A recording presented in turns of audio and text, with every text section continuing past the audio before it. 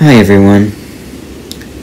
So, at this time, I have some very sad news to deliver. Unfortunately, our beloved worm will be leaving today. I really hate to be the one to inform you all of this news, but someone had to say it. We can all say goodbye to the worm now. I just Happy April Fool's Day, friends.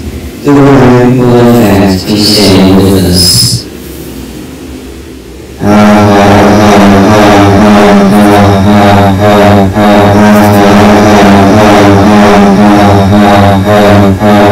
You have been fooled by a worm.